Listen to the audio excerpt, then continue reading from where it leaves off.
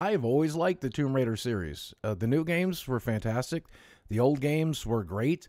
Uh, I like Lara Croft. She's a powerful, strong female character who, just like the title says, raids tombs, which is what you would expect from a game called Tomb Raider, right?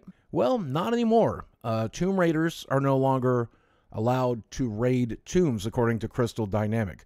Uh, apparently, fictional characters raiding fictional tombs for fictional artifacts is real life bad. Here's the statement, you know, talking about how raiding tombs is related to colonialism. And basically, if you go into a tomb and you find a, a, an abandoned artifact that has been left there for thousands of years, that the original owners have died and left behind, uh, it does not qualify for the ancient playground rule of finders keepers. I'll just be honest with you, once I die, I don't care what happens to my stuff because I'm dead. Feel free to dig me up, use my body parts for whatever you want to, make a soap ball out of my skull. I won't care because I can't care because I'm dead. So yeah, finders keepers applies to me, but apparently not to fictional video game tombs.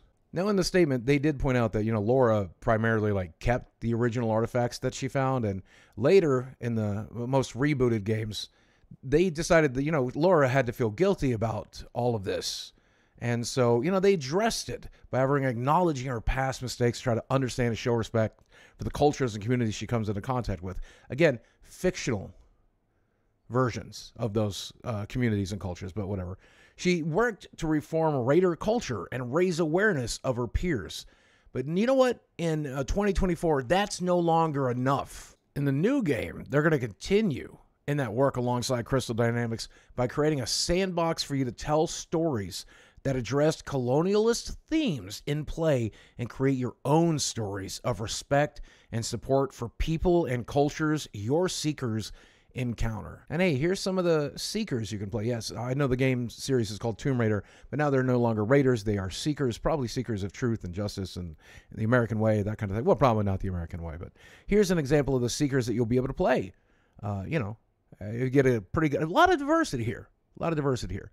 Uh, there does seem to be one group of people being not represented here, but hmm, I wonder who it is. Probably one of the most just embarrassing parts of all of this is the series is called Tomb Raider, but Lara will no longer be known as a Tomb Raider. She will now be an archaeological explorer, which is, again, just the same thing, really, except you're being way more PC about it, but you're still saying the same thing.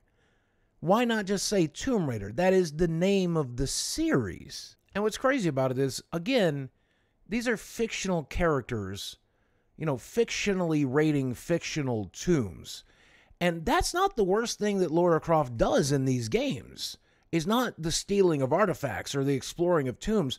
She kills people. She's a murderer. She kills animals and peoples and I think also ghosts and shit. But at the end of the day, are we overlooking all of the murders? Is that what we've chosen to do for your video game? It's okay if she murders dozens and dozens and dozens of people in every game, hundreds of defenseless animals, doesn't matter because the crime was that she was raiding a tomb to look for fancy rocks. But as long as she's now an archaeological explorer and not a tomb raider, and she has a party of diverse characters going with her that you can play, then it doesn't matter how many humans and animals you murder to find those fancy rocks, or I guess return those fancy rocks to the rightful owners in the new games, maybe. Who knows? Like, I get it. The British Museum is full of stolen artifacts that were stolen during wartime and all of that stuff. I get that. If you want, if you're the kind of person that wants those artifacts to be returned to the original civilizations, hey, go for it. Make a campaign, run for that, get it done. I, I don't really care. I don't care about the British Museum. I do think it's crazy if you're putting those efforts into getting a fictional Tomb Raider to return fictional artifacts to fictional cultures. That's crazy sauce. You are a crazy person. And one of the weirdest things about this is Tomb Raider is a series with a strong female lead, and it's a game series that pretty much everyone likes. And so it feels like it was doing a really good job of getting the message across. But like, no, it's not politically correct enough. Put a fat black chick in it. Put a giant Hawaiian guy. I think it might be one giant Hawaiian guy in it And make sure you play those characters because we want to get as far away from the strong female character that everyone likes. You remember in the last games, it was all about how strong and powerful she was and how she had to fight to survive and do everything she could to, to manage to be there and just exist. That message was not strong enough. Put put this tall blonde, uh, clearly trans person in it. I think she's trans. She's called the Changed. If she is trans, it's really on the nose, right? But maybe not. Maybe I could be wrong. We'll have to wait till the game comes out. I mean, Tomb Raider is a series that's as almost as ancient to some of you guys as the Tomb's Lara's rating, right? If there was a Tomb from the 90s, you guys would be like, "Oh, yeah, that's probably what she's rating." But this game has been successful. The series has been successful since the 90s. And this has this amazing legacy. Why are you destroying it? Why would you want to tank this series? Because they know absolutely by now that doing this stuff is going to get it rejected by the consumer. And they're doing it anyway. And the game series was already progressive enough when it had a strong female lead that everyone liked. Why do you want to ruin that?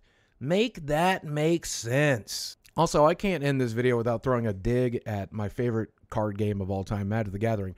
In just the last 365 days, they did a crossover with Tomb Raider. And you got to remember, the folks that make Magic the Gathering, they are like ultra progressive. They don't ever want to do anything problematic. Well, look how problematic this is. You've got the words Tomb Raider on a Magic the Gathering card. Imagine the egg on their face. Or maybe even the leftists at Wizards of the Coast realize this is stupid. Maybe. I hope it's that one. It's probably that one. Now, don't forget, you can always go back and play all of the classic Tomb Raider games, right? Specifically the reboots, which really did move the needle in terms of progressiveness to a point that I thought everyone would be satisfied on. I just saw that Shadow of the Tomb Raider got added to Game Pass. You can play it with cloud gaming. If you got Game Pass, you can play it on your PC, play it on your computer. Studies are showing that people are playing older games way more now. And I can't imagine as to why it is. But if you go boot up Shadow of the Tomb Raider, which I think you can get on like Steam for like 20 or 30 bucks, you'll be playing what will effectively be the last Tomb Raider game and not the brand new archaeological explorer game series. So maybe go boot it up. Because the Tomb Raider series, for some reason, is changing irrevocably. They want to move away from Lara Croft. They want to move into this more diverse cast and they want to stop raiding tombs. And I think there's a reason, maybe a couple of reasons, that they don't want us getting to see as much of Lara Croft. I don't know what those two reasons could be. It seems like it'd be as plain as the nose on my face or the lumps on my chest, but there's probably a reason. I wonder if you can figure it out and tell me in the comments section below. As always, guys, thanks for watching. I love you very much, and I will speak with you again soon.